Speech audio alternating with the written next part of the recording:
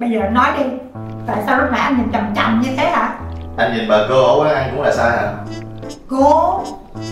Cô ta chỉ mới có 20 tuổi thôi. Cô cái gì mà cô? Cái gì mà 20 tuổi cơ chứ? Nhưng mà tại sao anh lại nhìn người ta như vậy? Dù cho anh tính gọi món thì anh cũng đâu cần phải nhìn người ta chằm chằm như vậy. Anh là biến thái hả? Anh nhìn như vậy thì làm cái chứ? Cũng đâu phải anh đi một mình. Anh đang đi cùng em đấy. Tại sao anh lại trốn mắt nhìn chằm chằm cô gái khác trước mặt em như vậy được hả cũng đâu phải anh cố tình ngắm gái đâu. Anh chỉ xem cô ta có đem lên đồ món cho chúng ta không thôi mà. Tại cô ta đẹp nên anh mới nhìn chằm chằm như vậy đúng không? Tại vì em xấu nên anh chán với em rồi đúng không? Em không muốn nhắc tới vấn đề này thêm một lần nào nữa đâu. Em sẽ không bao giờ nói chuyện với anh nữa. Em mà nói chuyện với anh nữa em không phải là con người. Em sao vậy? Em.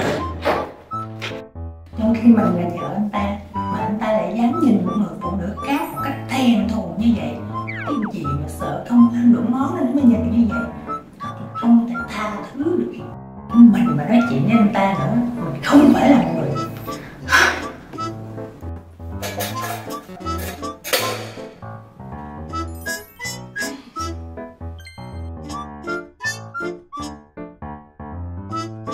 Mình ơi!